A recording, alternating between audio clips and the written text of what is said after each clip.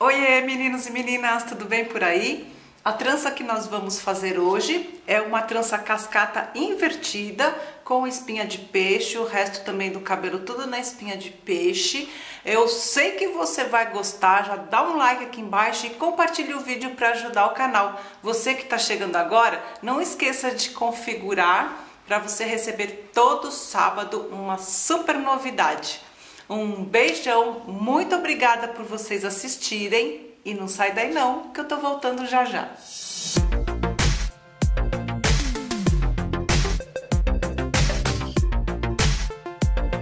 Vamos lá, gente, para as divisões. Bom, aqui eu coloquei um aplique tic-tac. Do alto da sobrancelha, puxei aqui atrás e prendi com um elástico de silicone baixinho, não prendi aqui em cima, prendi baixinho e deixei aqui bem soltinho. Nós vamos fazer uma cascata invertida, então quando eu soltar os fios aqui, eu, eu quero que cubra isso e o elástico. Na lateral, eu vou pegar aqui uma parte, ó, dividir em três partes e vou começar uma trança normal, embutindo cabelo de baixo para cima. E a parte de cima eu vou fazer a cascata. Então, olha, ao invés de eu passar aqui, eu não passo e reservo essa parte de cima. E vou substituir aquela mecha que eu separei.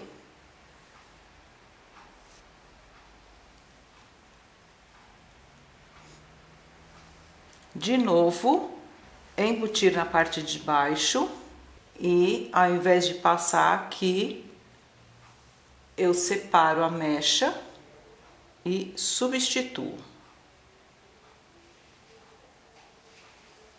Continuando a trança. Essa trança que eu venho fazendo aqui, eu vou contornando a, a linha do cabelo aqui.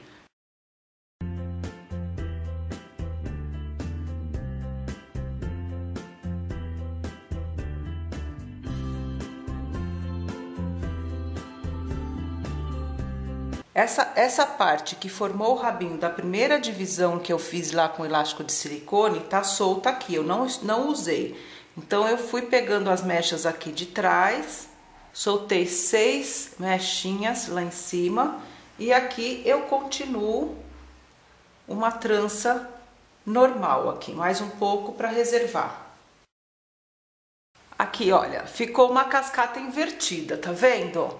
a trança com, a, com as mechinhas da cascata para cima. A, o mesmo processo que eu fiz aqui, eu vou fazer lá do outro lado, igualzinho.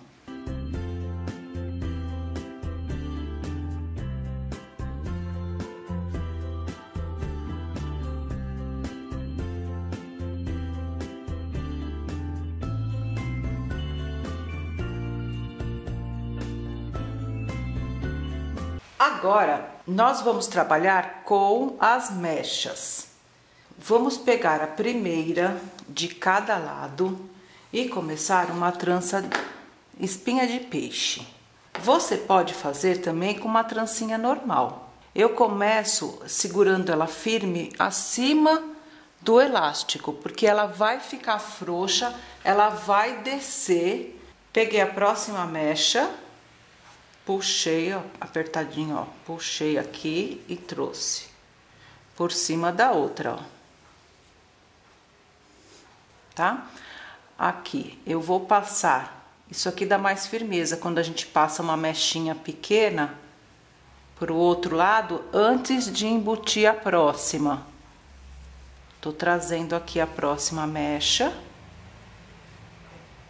De novo, ó, vou passar uma pititica pro lado de cá antes de trazer a próxima. E vou fazendo isso até terminar todas as mechinhas da cascata invertida.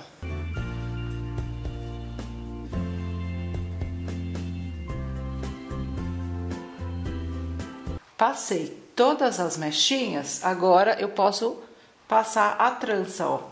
Essa trança que eu reservei Você pode passar ela com trança, é, como trança mesmo, ou pode desmanchar essa trança. E a outra do outro lado, ó. Agora eu continuo fazendo essa trança espinha de peixe, posso fazer no rabo de cavalo todo, ou eu posso só prender tudo num rabo de cavalo só e deixar o resto do cabelo solto. Aqui eu vou terminar a espinha de peixe agregando aquela parte aqui do meio, que é essa aqui de cima que eu prendi com elástico, ó, já reparti em dois lá e continuo a trança, espinha de peixe, até a altura que eu quero. É, com a espinha de peixe, você pode soltando as mechas para ela ficar bem frouxa, ou você pode deixar ela justa do jeito que for do seu gosto. Enquanto eu termino a espinha de peixe, eu vou mandar beijo. O beijo de hoje vai para Fátima Souza, de Madalena, no Ceará, para Penha Rocha, ela é de Natal, no Rio Grande do Norte, e para Olivia Moraes de Andrade e a mãe Eliane de Uberaba, em Minas Gerais. Meninas, muito obrigada pela participação, por compartilhar os vídeos.